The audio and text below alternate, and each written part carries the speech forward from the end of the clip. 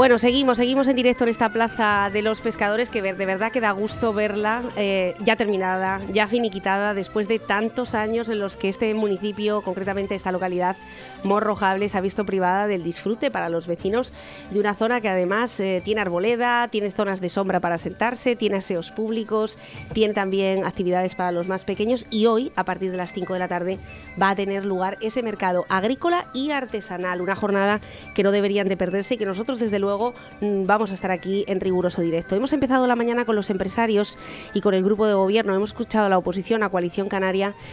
Hemos pasado por el recuerdo con Guillermo Concepción y con aquella etapa de cómo era el municipio hace 20 años y ahora es el turno para el Partido Popular al que también hemos invitado a participar. Buenos días Dunia Álvaro, buenos días Jorge Marante y también Alejandro Cacharrón. Bienvenidos. Hola, buenos días. Bueno, eh, estamos viendo un morrojable muy distinto al que estamos acostumbrados. yo no quiero decir una imagen demoledora porque no quiero utilizar ese tipo de calificativos, pero desde luego, bueno, pues con unos empresarios que todavía, todavía ven muy peligroso reabrir sus puertas. Sí, es cierto. Eh, estamos todos con un estado de incertidumbre precisamente por esta reapertura. Eh, no nos queda otra que ir adaptándonos a los nuevos tiempos y sobre todo reinventándonos. Esa va a ser la parte más difícil del ayuntamiento de Pájara en general. Esto no se va a solucionar solamente por parte de un grupo de gobierno.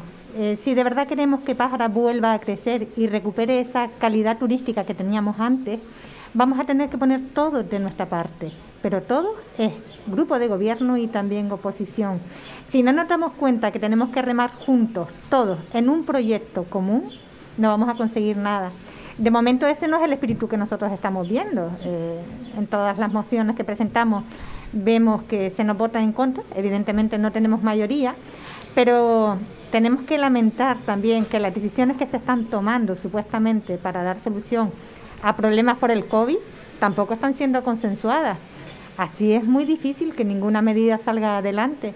Ni los comerciantes tienen confianza en el grupo de gobierno, ni se están aportando ideas que se puedan llevar a cabo. Simplemente se lanzan falsas promesas, como la de los 30 millones eh, para los autónomos y las pymes, y sin embargo no se da solución a ningún problema. ¿Qué medidas aportarían ustedes? ¿Han propuesto ustedes? Hablaremos ahora sobre cómo están algunas de las infraestructuras del municipio que han denunciado esta semana y que ha sido de verdad unas imágenes de verdadero terror. Hablamos de urbanizaciones eh, abandonadas, que esas ya se conocían, pero también del estado de abandono que vive la estación de guaguas de Morrojable, con imágenes que incluso alguno de nuestros oyentes decía, esto no puede ser. Sí, sí, están así eh, esa estación de guaguas. Pero queríamos conocer las propuestas que ustedes han hecho al municipio para esa reactivación económica. Eh, Alejandro. ¿Qué tal? Eh, mira, eh, con el tema de la acción de guaguas, por ejemplo, es muy importante. Es una gran inversión que se ha hecho ahí y, que está ahí inútil, sin dar un servicio, bueno, más que entráis hay guaguas y, tiene unas instalaciones estupendas, tiene un, local para, para, para, reuniones y para conciertos y para actividades que se puede utilizar para la juventud. Pero ¿cómo se ha podido llegar a este estado de abandono, Alejandro? Pues una vez que no se utiliza, los chavales empiezan a entrar, se empieza a vandalizar, se empieza... es, simplemente es abandono, es abandono, es mala gestión y es el abandono por parte del Cabildo, que es el responsable de esa estación de guaguas. Tiene una terraza estupenda con un bar mm, que está vandalizado, que podría estar funcionando y dando un servicio a todos los vecinos del Ciervo, que no tienen un lugar donde donde ir con los niños, donde puedan andar en bicicleta, donde las madres puedan estar tranquilas, que saben que no hay un coche, que no hay peligro, y se ha abandonado por parte del ayuntamiento, sabemos que, esto no es competencia suya, pero sí que es competencia de ellos eh, reclamar y presionar al cabildo para que esa estación se ponga, se ponga en funcionamiento, que se busquen soluciones, no sé si a través de una eh, cesión, si a través de, que el ayuntamiento recepcione las instalaciones, buscar soluciones para que, para que estas instalaciones realmente sirvan a lo que, para lo que fueron eh, creadas. Jorge. Yo creo que la dejadez yo creo que viene ya cuando hay dejadez política. O sea, hay que ser claros, hay que ser sinceros y, cuando hemos tenido prácticamente 16 años de parálisis dentro del municipio, pues, pues al final eso se refleja en, la sociedad y, todos los vecinos lo ven. Al final es eh, dimes y diretes entre, entre eh, cabildos y ayuntamientos, que al final quien sufre las consecuencias son los, los vecinos. Y es una pena, es una pena, a lo mejor porque, porque esa eh, estación de guagua que, que depende directamente ahora del, Cabildo. en manos del Partido Socialista, pues antes dependía de Coalición Canaria, que era quien gobernaba el, Cabildo, y, era el Partido Socialista quien gobernaba en el Ayuntamiento. Entonces, esas guerras políticas, al final, quien las ha sufrido somos todos los vecinos. Y es una pena, es una pena porque, porque forma parte de, los eh, edificios que tiene ahora mismo el, municipio de Pájara y vemos que no tiene una solución. ¿Por qué? Porque ninguno quiere tomar las riendas de esto. O sea, mm, mm, eh, vamos a hacer, oye, pues esto se ha hecho así, es mejor no tocarlo, vamos a dejarlo porque... ¿Por qué? Porque eh, al final unos por otros y la casa sin barrer. Entonces, yo creo que ya es hora de que, de que se pongan las pilas, de que, de que gestionen, porque al final no es, ya hemos visto que en Fuerteventura y en los ayuntamientos no es problema económico, no es problema de dinero, es problema de dejadez. Es problema de dejadez política y de ganas de trabajar por los vecinos, que al final que son los que merecen el respeto, son los que nos votan y son los que ponen y quitan a cada uno pero volver otra vez, eh, otra legislatura más en manos de esos de que de esos que llevaban 16 años eh, paralizando el municipio, pues no hay más. O sea, estamos en las mismas. Estamos hablando hoy de infraestructuras pendientes. Estamos hablando desde primera hora de la mañana de lo que ha pasado con ese colegio, el colegio de Morrojable, que parece que no se va a recepcionar en septiembre. Sobre esa ubicación definitiva para el Centro de Especialidades Médicas, si es la Lajita o si es Tuineje, otra de las asignaturas que todavía no se ha resuelto, pero también de otras infraestructuras pues para la gente joven o los mayores, en el caso del municipio, que ni siquiera están proyectadas, Dunia. Mira, eh, antes comentabas precisamente el tema de, de las medidas que se podían eh, tomar para hacer crecer al municipio, antes de hablar de esas instalaciones. Eh, me gustaría informar a los vecinos, por si no lo tienen claro, que el Partido Popular es un partido de gestión, es un partido de trabajo, pero también es un partido que propone soluciones, porque estar en la oposición no significa no hacer nada.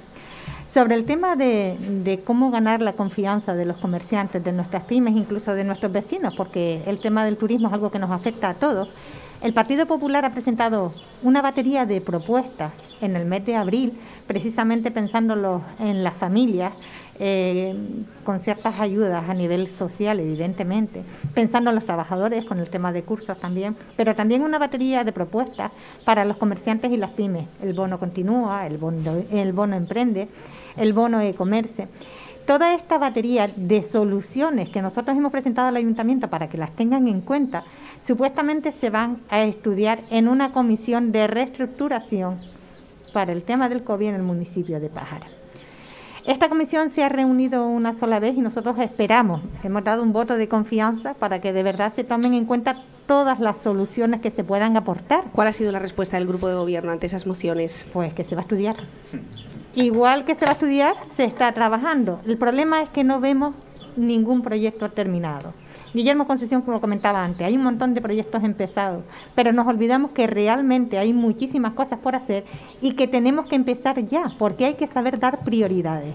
Lo que tú comentabas acerca de la estación de Guaguas es un ejemplo, pero también tenemos el tema de las urbanizaciones sin recesionar que ya tienen sentencia, algunas de ellas con avales, con más de un millón sesenta mil euros que se puede empezar a utilizar para mejorar las instalaciones que hay en la zona. Pero aparte de eso, tenemos un montón de problemas que abarcar ya con el tema de los jóvenes, por ejemplo, y seguimos sin darle prioridad a las cosas que nos afectan a la gente de la calle. Los jóvenes se siguen reuniendo en el tanatorio. Lo denunciábamos el año pasado y seguimos denunciándolo ahora. Los chicos no tienen un sitio para jugar con una bicicleta o para jugar con un balón. La gente no tiene dónde llevar a los perros. Tenemos un parque en la zona de eh, exactamente a la, altura del Estela Canari. Vamos a darle servicios a los vecinos, si tampoco es tan difícil. Y son pequeñas cosas. El tiempo que nosotros estuvimos, acometimos lo primero que eran los parques infantiles.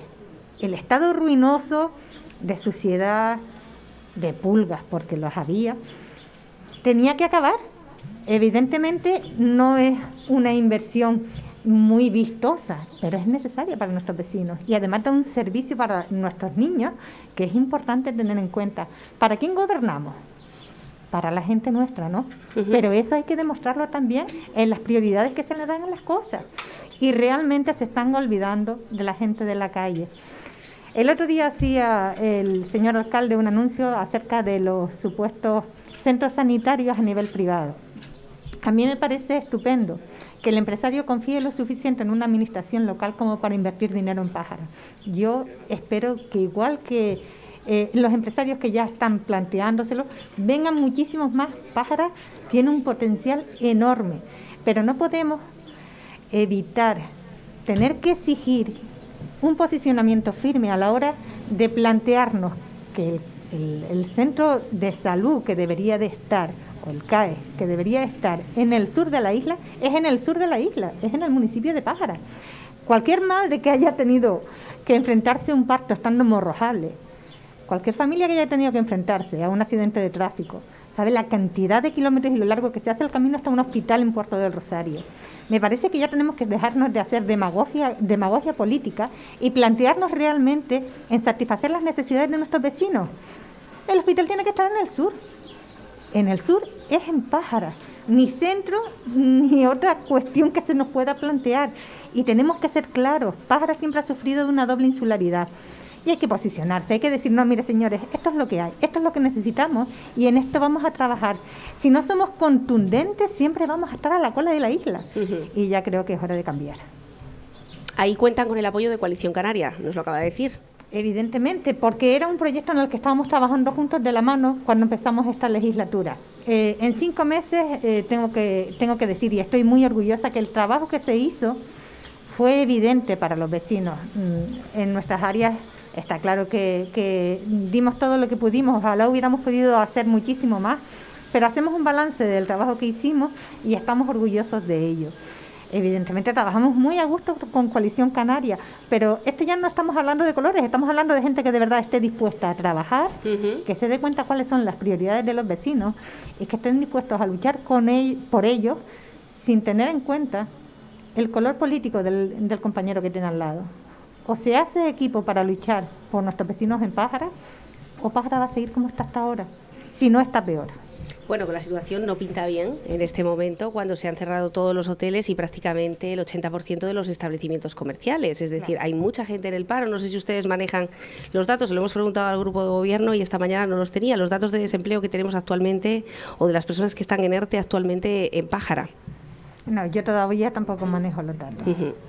Bueno, con respecto a proyectos que ustedes llevaron a cabo en esos cinco meses de gobierno antes de la moción de censura y de los que hemos oído hablar poco más, el Estela Canaris, por ejemplo, que se presentó con todos los honores en el Labranda, donde se le daba una nueva inyección otra oportunidad a este, a este establecimiento y de momento mm, no hemos vuelto a saber nada más. Esa gestión eh, tengo que decir que lo lleva el concejal de urbanismo en ese momento, que es el actual alcalde. Es decir, es la persona ideal para dar explicaciones acerca de ese proyecto. Evidentemente, igual que el tema de la branda, eh, se desbloquearon ciertas, eh, ciertos proyectos que tenían que ver con empresarios hoteleros aquí en, en el municipio de Pájara. Pero realmente hemos visto una pasividad total en lo que tiene que ver con urbanismo. Simplemente se han terminado aquellos proyectos que ya habíamos comenzado la contratación del plan urbanístico de Pájara, que es muy importante.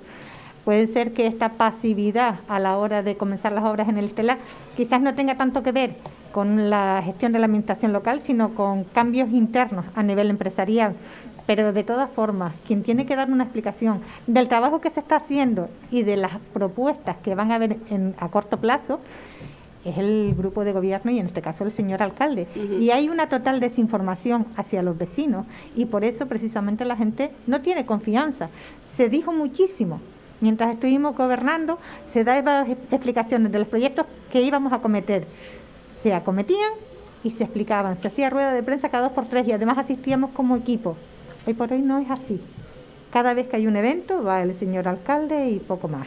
No se cuenta ni con el grupo de gobierno restante, o por lo menos no se le invita, o no están presentes y de luego a la posición ni se nos invita. Así no se da una imagen de equipo, así no se da una imagen de trabajo. Una sola persona no puede tener la responsabilidad de todo un ayuntamiento y si la tiene, tiene que acometerla y tiene que dar explicaciones de su trabajo. ¿Qué proponen ustedes para evitar el cierre de las tiendas que son mucho más vulnerables en Morrojable? ¿Para qué negarlo? Porque aquí ustedes dependen 100% del turismo, ¿no? Es Puerto del Rosario con una población local de 40.000 personas, no es Corralejo donde también hay una población local, además de una población turística más numerosa que la que tienen en Pájara. Veíamos como Altava nos relataba, bueno, pues un escenario muy complicado, apenas cuatro o seis establecimientos estaban empezando a reabrir, hay algunos que están pensando en echar el cierre, otros ya lo han hecho y calles comerciales que están completamente vacías con apenas uno o dos restaurantes. Cuatro restaurantes, por cierto, abren hoy aquí en la zona de Morrojable. ¿Qué proponen ustedes siendo el ayuntamiento o uno de los ayuntamientos que tiene más saneadas sus arcas? Jorge. ¿Yo? ¿O Alejandro? Bueno, la dinamización eh, comercial es, fundamental, pero es que yo vengo, yo quiero abogar también a, a que estos son de estos polvos, de estos lodos, ¿no? Eh, si en su momento, cuando vivíamos de la gallina de los, de los huevos de oro, que es el turismo, que es lo que realmente nos daba la tranquilidad en este municipio, porque no había problema, tenemos los hoteles llenos y todo el mundo era feliz y todo el mundo estaba contento, eh, en ese momento no había dinamización eh, comercial, pues poco menos la va a haber ahora cuando no tenemos el turismo si están las calles cerradas, si están los comercios cerrados a calicanto, pues eh, mucho menos dinamización para ver. Nosotros estuvimos eh, hace eh, dos semanas, dos sábados, este sábado pasado, el anterior, estuvimos con nuestro presidente Fernando Enseñat, pues dándonos una vuelta y hablando con los, con los comercios que estaban abiertos y viendo un poco cómo era esa vuelta a la nueva normalidad. Y todos nos decían lo mismo, o sea, es que sois los primeros, siempre son los únicos que vienen por aquí. Y no nos lo dijo uno, y esto lo digo con la mano al corazón si hace falta, esto no es mentira, pueden ir a los comercios y preguntarle si quieren, eh, es, una, es la triste realidad.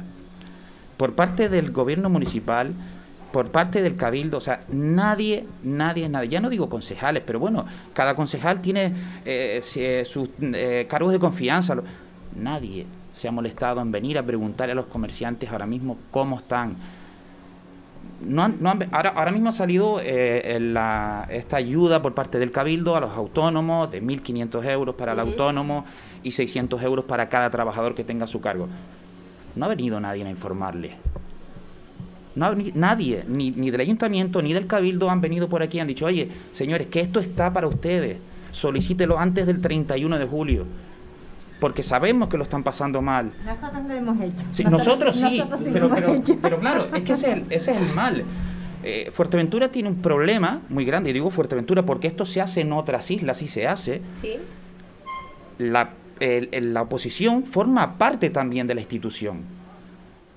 Nos vamos a La Palma, en otros sitios, donde, donde la oposición, por ejemplo, forma parte y organiza eventos eh, potenciales dentro de, a nivel cultural. En la fiesta lustre de la, de la Virgen, pues eh, la, oposición forma, eh, eh, se encarga de, Santa hacer... Cruz ha formado hasta gobierno, Sí, o sea, sí, pero, me refiero, me refiero que se encarga de, elaborar uno de los actos más importantes de la bajada de la Virgen.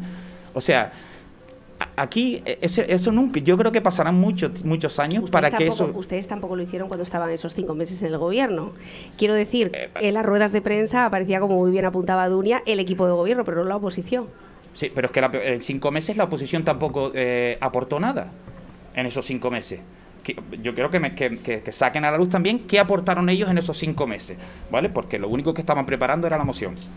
¿Vale? Ellos, ellos durante esos cinco meses lo único que prepararon era la moción para tenerla bien preparada, pero realmente no aportaron nada más, no, no aportaron nada más al trabajo. Entonces, por eso yo lo que digo, si no hay dinamización eh, comercial o no la hubo, poco menos va a haberla ahora hay que salir más a la calle, hay que hablar con los comerciantes, hay que ver cómo están trabajando ellos ahora mismo y lo mal que lo están pasando, porque es la triste realidad. Lo que hoy son ERTE van a ser ERE dentro de muy poco. Ojalá que no sean muchos, pero desgraciadamente va a ser así. Va a haber mucha gente que va a estar abocada a su cierre total. ¿Entiendes? Entonces, si nosotros no le damos... Las ayudas están para darlas. Si, si las convocas, tienes que fomentarlo. Oye, pues mira, no podemos dar más porque este era el dinero que disponíamos y hasta aquí hemos llegado. Pero lo que no puede ser es que eh, las ayudas que das y el dinero que tienes pues se quede en la mitad porque es que no lo han solicitado. No, no, es que usted tampoco ha dado la información. Es cuando me, cuando me dicen que un ayuntamiento, por ejemplo, eh, le sobran 30 millones de presupuesto y es que han hecho una buena gestión. No, no, pero para mí eso no es una buena gestión que te sobre dinero de un ayuntamiento o de un cabildo no es buena gestión, es todo lo contrario. El dinero en los presupuestos está para gastarlo. Y si no se puede gastar en un área porque en la otra, pues se hace una modificación de crédito y se cambia a una concejalía que pueda hacer más eh, falta. Sobre todo cuando el saldo entre el debe y el haber en cuanto a infraestructuras, pues no es muy ventajoso, ¿no? Sigue habiendo muchísimas que son pendientes. Alejandro. Sí, lo que hablaba Jorge tiene toda la razón y es así. Mira, eh, Ahora te comento un caso que mañana son aprobados unas modificaciones de crédito en, el Pleno, ¿vale? Eh, se había creado una comisión de reconstrucción precisamente para que todos aportásemos y para que todos estuviésemos informados de lo que se iba a hacer y cómo se iba a hacer.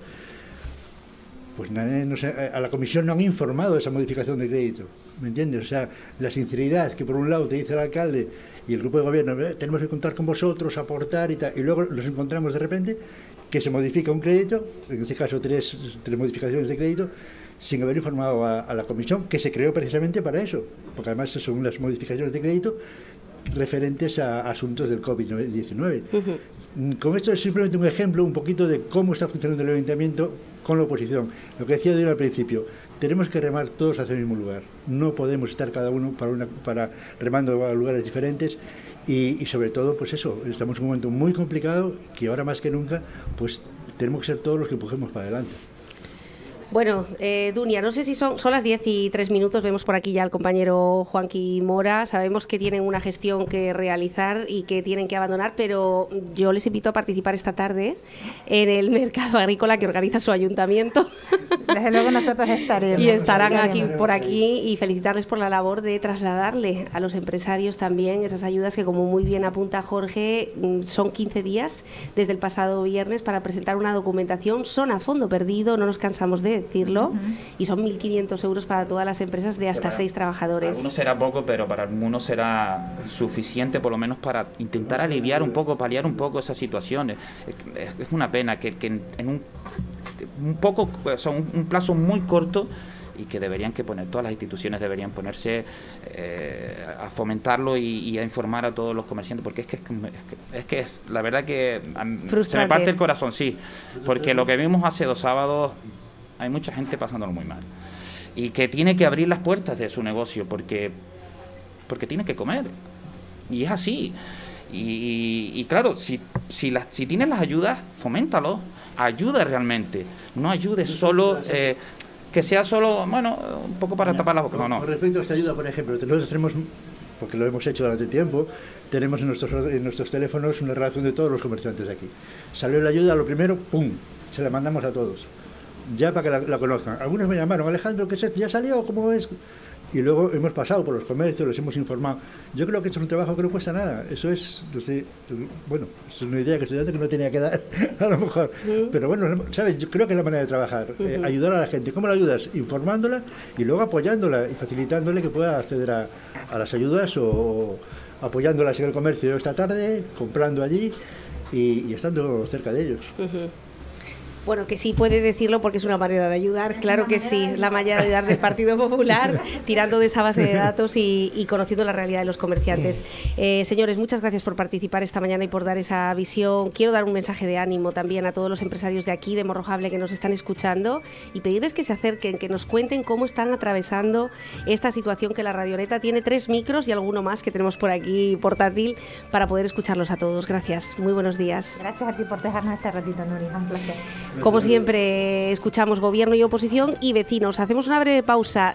Ya se incorpora a la radioneta nuestro compañero Juan Quimora. Vamos a tener con nosotros al presidente de Estelfuer, que también tendrá algo que decir sobre la reapertura de los establecimientos hoteleros y de cómo se está haciendo y cuánto cuesta a los hoteles también poner en marcha otra vez esta maquinaria con la normativa del COVID. Y hablaremos también con el desalcalde de Pájara, que por cierto será la primera entrevista que concede, por lo menos a Onda Fuerteventura, desde que ya abandonara ese grupo de gobierno. Y hablaremos de uno de sus temas favoritos, el Museo Pepe Damaso.